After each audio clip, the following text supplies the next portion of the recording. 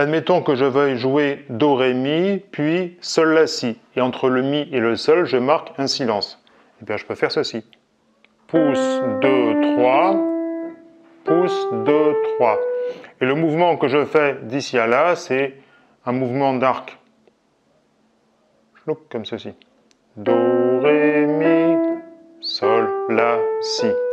Ok? C'est tout à fait possible. Et c'est même recommandé.